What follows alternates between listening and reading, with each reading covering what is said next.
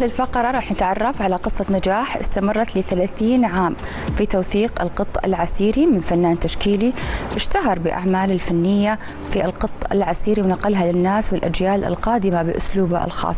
أكيد نرحب في الاستوديو بالفنان التشكيلي ومقرر لجنة الفنون التشكيلية في جمعية الثقافة بأبها أستاذ إبراهيم الألمعي. أهلا وسهلا فيك أستاذ إبراهيم. الله يحييك. الله يعافيكم إن شاء الله. تفضل نورتنا. النور نوركم. الله يبارك فيكم إن شاء الله. كلمنا بداية عن انطلاقك في فن القط العسيري ومسيرتك الحافلة. البداية كانت آه، طبعا من الطفولة عام 1405 نزلت مع الوالد في قرية الرجال عندنا في رجال الماء. فدخلت البيت. اللي عاش فيه الوالد و- وجداني كلهم جميع. ف كان عمري وقتها في ال 11 سنة أو 12 سنة. دخلت ال- البيت فوجدت ال- الغرف مزينة. بالقط العسيري الأرضيات السقوف كذلك الجدران فيها تنوع فظيع طبعا. أثارتني هذه الحاجة. الألوان والزخارف والفن اللي كانوا يقيمون فيه يقيمون فيه. هنا بدأت ال- تسيطر علي الألوان والزخارف. بعدها مشيت ولكن ما زالت عالقة في ذهني. بعد سبع سنوات كذا بديت أبحث. كان البحث على على مراحل بسيطة يعني ما هو بكثافة قوية يعني. فبديت أبحث من بيت في بيت في قريتنا في القرى المجاورة في منطقة عسير بديت أتوسع أكثر. فبدأ الشغف يزيد وكل ما دخلت بيت وجدت الجمال فيه من فن زادني شغف أكثر بحيث إني أبحث أكثر. واستمرت المسيرة. مدة 32 سنة إلى حتى قبل أسبوع وأنا جالس أوثق هذا الفن ما شاء الله. يا نعم. سلام. أي يا سلام. يعني إحنا المملكة العربية السعودية آه، تمتاز بتنوعها الثقافي ويعني خلينا نقول في في في النقوشات وفي ال- ال- التراث وفي الثقافة بشكل عام آه، أستاذ إبراهيم. لكن أنا ودي أعرف بس قبل ما أكمل معك الحديث هو اسمه القط ولا القط ولا ال- القط العسيري؟ لا، شلون تنطق بالطريقة الصحيحة. الطريقة الصحيحة اسمها القط. القط. نعم القط. والكلمة وش يعني وش أصلها أو شلون جت أو كيف قرروا أنهم يسمونه قط عسيري. هي اسمها اسمها الحقيقي. لا عدة ثلاث لا ثلاث مسميات. تمام. يسمونها القط ومعناها قط يعني خط ورسم والقط هو أساسا هي الثلاث الخطوط العرضية. نعم. الشكل كامل ما اسمه القط. يجيك يا خط يا خطين يا ثلاثة يا أربعة يا خمسة خطوط على الجدران تمشي مع الطيق برضه. نعم. فهذا اسمه القطة. أما الأشكال اللي موجودة في العنصر نفسه في الغرف ناس يسمونها الكتبة وفي ناس يسمونها النقش اللي هي المثلثات المربعات ال- يعني القط العسيري هي بس الخطوط اللي تكون متواصلة. وهو سمي القط العسيري باسم المنطقة كاملة إيه. كقط آه، قطة هي الخطوط والنقش والكتبة العناصر اللي موجودة فوق القط. okay. اي هذا هي المسميات اللي موجودة في منطقة عسير كاملة بجميع محافظاتها. يا سلام. اي نعم. وغني يعني ال- ال- القط يعني آه، آه، عكس اللي تشاهدونه في الصور أنا تمعنت فيه ودخلت البيوت و ومنطقة عسير فوق ال 4256 قرية. لا يكاد يخلو من بيت في قرية فيها بيت إلا وفيها من هذا الفن يا سلام أي. طيب خلينا كده نتكلم شوي عن مدخل مطار أبها عن أيوة. الجداريات في مركز الملك فهد أه، الثقافي بالمفتاحة كيف تم اختيارك حتى يعني أه، زي ما يقولوا تحط ريشتك على هذه أه، الأماكن بالنسبة لمطار أبها طبعا كان في مسابقة للتراث العمراني في منطقة عسير. سلام. آه، معارض فنية من ضمنها كذلك الجداريات فتم تقديم تصاميم أعلنوها. فأنا من ضمن اللي قدم التصاميم فتم اختيار التصميم اللي نفذته أنه يبقى أنه ينفذ في آه، مطار أبها. يا سلام. نعم من قبل لجنة من هيئة التراث. فتم تنفيذها من قبلي أنا والفنان محمد شراحيلي وكذلك الفنان خالد حنيف. كانت الجدارية طولها 24 متر في 4 أمتار. ونفذناها على على الشيء اللي يمثل المنطقة بزخارفه وبفنة بحيث أنها تكون واجهة طبعاً. للزائر اللي يحضر لمنطقة عسير. أما بالنسبة اللي في قرية المفتاح التشكيلية آه، اجتمعنا مجموعة من الفنانين على أن نضبط واجهات المفتاح. كل فنان يمسك له جداريه ويبحر فيها بأسلوبه الفني. يا سلام. فطلب مني في وقتها من مدير القرية وكذلك كانوا يجون زوار كثيرين خاصة الأجانب يسألون عن القط حبيت أني أعمل نموذج كامل في الجدارية. جدارية كاملة هذا هو القط العسيري اللي تشتري في منطقة عسير ونفذتها في جدارية يمكن حدود 12 متر في 4 أمتار ما شاء الله يمكن في سؤال يخطر ببال أستاذ إبراهيم بس خلي قبل ما أسألك هذا السؤال نشوف بعض الصور للقط العسيري نبي تعليقك عليها. يعني زي هذه مثلا. هذه فيها ثلاث ألوان اللي هو الأسود والأحمر والأزرق. صحيح هل الألوان بعد لها مسميات أو معنى؟ صحيح طبعا آه، أنا أبغى آه، أزودكم بمعلومات. أي. ليس في ألوان ثابتة في منطقة عسير لون ثابت لهم. إيه يعني أشبه زي الفنانين والفنانات. كل يضع بصمته صح. ولونه وأسلوبه وطريقة توزيعه لا ما في يعني نموذج واحد ثابت. طبعا أنا جمعت منه فوق ال 1242 شكل. إيه واو. اللي منتشر في عند الناس إنه أربعة أو خمسة نماذج، لا أي. أنا فوق ال 1200 شكل يختلف عن بعضها. واو. فكانوا يرتبونها بطريقتهم الخاصة. زي الفنان يضع بصمته إيه، يضع اللون اللي يناسبه زي ما تشوفون في الجداريات الموجودة الآن. آه كذلك الألوان. الألوان لأن المنطقة تحكم أستاذ إبراهيم إذا توافقني الرأي كلام جميل لأن صحيح. آه، فعلا يعني منطقة عسير معروفة بالمرتفعات وأيضا بيئتها صحيح. والبيئة بشكل عام والخضار. والخضار والسهول والأنهار فهذا يعني أعتقد إنه كمان يأثر على الفنانين صحيح؟ له دور كبير البيئة لها دور كبير يعني التنوع اللوني يعني أنا أقدر أسمي منطقة عسير صراحة كنز فعلاً. واللي يبغى يعرف الشيء ده يبحر. لا صح. يشاهد يبحر بنفسه ويبحث. راح يشوف شيء يمكن ما راح يتصوره. فالمسميات اللي ذكرتيها نعم لها مسميات. جمعت أنا من المسميات حدود آه، 48 مسمى. واو.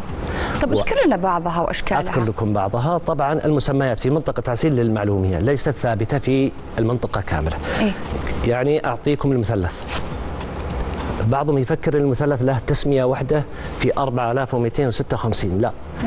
من من ال- يعني الفنون عندنا زاد زادت المسميات وصار فيه تنوع كبير يعني. المثلث ناس يسمونه المحاريب. محاريب. نعم. وسمي المحاريب. آه الله. سمي المح- المحاريب لسببين في ناس سموه المحاريب لأنه على شكل محراب المسجد. وفي ناس سموه المحاريب لأنه على شكل الحربة يشبه الحربة. ناس يسمونه الجبال لأنه على شكل الجبال. في ناس سموه البنات وسميت البنات التسمية الحقيقية له أن الفنانة كانت تذهب إلى البيت تقابل أم صاحب البيت أو بناته أو أخواته دعابة منها طبعا. ترسم المثلث وتقول هذه انت يا فلانه وهذه انت يا فلانه وهذه انت يا فلانه تسمي المثلثات ببنات صاحب البنات. البيت يعني من زمان كانوا هم البنات هم اللي يقومون بهذا نعم الألوان بنسبة- مو رجال. بنسبة آه، أقدر أقول لك 80% هم النساء. أقدر أقول لك 20% فيه رجال في محافظات منطقة عسير طبعا التقيت بهم واجتمعت معهم هم اللي كانوا ينفذونه. فعادة الفنون هي عامة للجميع زي ما في القط آه، نجد موجودة في الأبواب القديمة. نجدها في المرو. طبعا المرو هذا اللي هو حجر الكوارتز يزينون فيه آه، البيوت. من- آه، يعني خارج البيت الحجري اللي هو لونه أبيض يسمونه المرو. نفس العناصر موجودة. في المسميات كثيرة التقطيع العمري في الختمة في الامشاط طبعا سميت الامشاط لأنهم كانوا يقتبسونها من المشط. هذه أوكي. السبب التسمية الحقيقية. كذلك الختمة. المربع عندنا نسميه ختمة في بعض القرى. من الخطأ أن يعمم على المنطقة لأن في قرى ما يسمونه. ففي قرى يسمون الختمة لأنهم كانوا يرسمون الشكل المربع ثم يختمونه باللون الأسود أو الأحمر أو أي لون. فهنا معناته أنها ختمت العمل. ما شاء الله يعني إيه. يعني فن له معلومات كثيرة لا معلومات، نعم. معينة يعني مو شيء سهل طب لو صحيح. لو بسألك السؤال اللي اللي قلت لك إني ودي أسألك إياه بس بعد ما نشوف الصور طيب. ما تتوقع إنه الآن إحنا عايشين بالتشكيل الرقمي بالديجيتال ممكن ياخذ الأضواء عن آه، فن القط العسيري لما يكون يدوي والله الفن الرقمي أنا أعتبره فن مستقل حقيقة والفنون عادة بأي أسلوب تمارسها الرقمي سواء باليد سواء بأي أي نوع. يبقى كل شيء له جماله وله هوايته وله ناسه. ولكن من وجهة نظري أنا آه، الهيبة أكثر بالرسم اليدوي. حد الإنسان ما يخلط اللون ويمارس ويشعر مثلا بالريشة أو بالسكين على ال- القماش لها نكهة خاصة. حتى ريحة الألوان أستاذ ريحة الألوان نعم صحيح لها يعني تفرق. لها نكهة. فيبقى آه، أصالته في الجدران يعني وفي اللوحات يبقى بجماله وفنه. كذلك الفن الرقمي لا يستطيع أحد إنه يلغيه. طبعا. يبقى بجماله وبالعكس الساحة كبيرة للجميع يعني صحيح، تسع الجميع صحيح. تسع أنا الجميع. نعم، صحيح. مرة كان عندي تغطية في الجنادرية كنت في منطقة عسير حتى في الجنادرية يعيشوك الأجواء تماما يعني إيش من فضيات إيش من مجوهرات إيش طبعا قعدت أرسم آه، على ال- الجدار اللي هو ال- الفن ال- القط العسيري وكانت صراحة جدا ممتعة ومنبهرة بالمشاعر اللي تيجي للإنسان وهو عايش هذه ال- ال- التفاصيل اللي هي يعني بصراحة إحنا عنا مو مو والفة عليها ودي أسألك يعني آه، مع اهتمامك وشغفك من أنت صغير إلى الآن هل آه، كل الأشياء اللي بحثت عنها أو اللي آه، وثقتها هل تفكر إنك مثلا أنت تارشفها تحافظ عليها؟ نتكلم عن النقوشات المختلفة عن الأبواب عن النوافذ وغيرها أو لا؟ والله أنا حريص يعني آه، إنها تتوثق في كتاب. لأن تخيلي 1242 شكل من القط. وذكرت قبل لحظات اللي ظاهر أمام المجتمع أربع نماذج. فالافضل إن نظهر أربع نماذج ونقول هذا هو الفن اللي عندنا ولا نعرض ال 1200 شكل. إيش الفكرة؟ آه، الفكرة جمعتها. تركيز. نعم رتبتها بكل محافظة عندنا بكل اسم قرية. جميل. مرتبة سواء القط العسيري كذلك عندي الأبواب. وثقتها في منطقة عسير كاملة. المرو كذلك وثقتها وكلها مرتبة ترتيب. آه، أنا أسعى حقيقة أنها تظهر في كتاب. في جزء أو جزئين أو ثلاثة في مجلد والهدف منه إظهاره للناس.